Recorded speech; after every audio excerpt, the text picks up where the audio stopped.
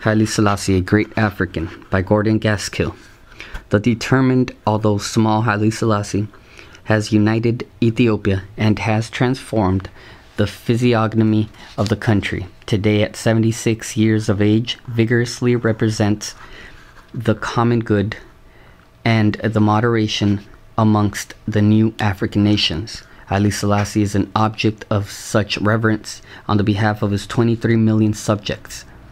So much so that some refuse to spin a coin on which is the image of his sovereignty, for fear that he may become dizzy. Amongst his countrymen, the most solemn oath is, Let the emperor die if I lie.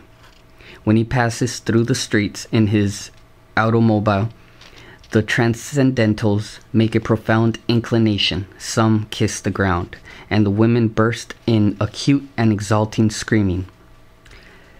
The troubadour and the minstrel celebrate him in their songs as one like to a Semitic hero, a mix between Carlomagno, Solomon, and George Washington, a man brave in battle, unmoved in defeat, magnificent in victory, and wise in politics, the true father of his country.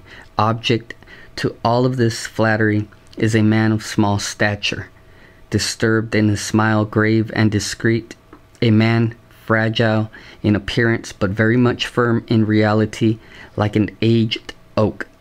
His Imperial Majesty Haile Selassie first conquering lion of the tribe of Judah, elect of God, Emperor of Ethiopia.